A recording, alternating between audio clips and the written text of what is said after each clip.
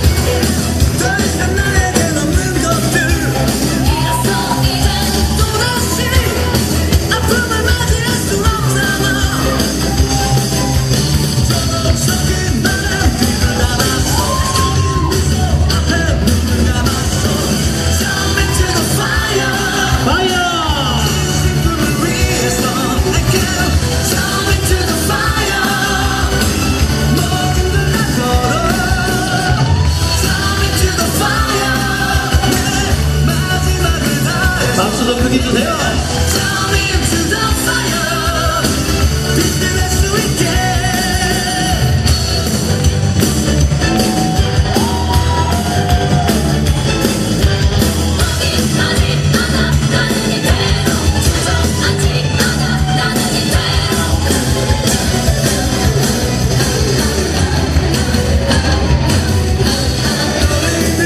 아, 예.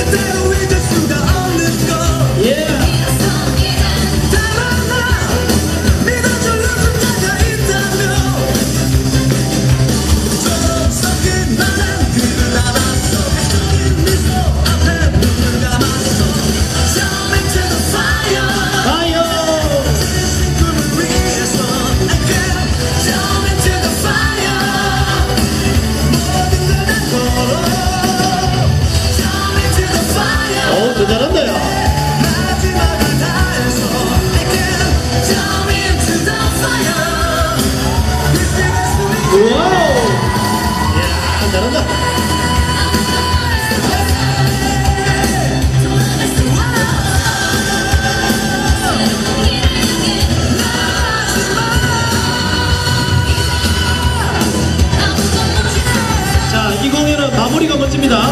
마무리에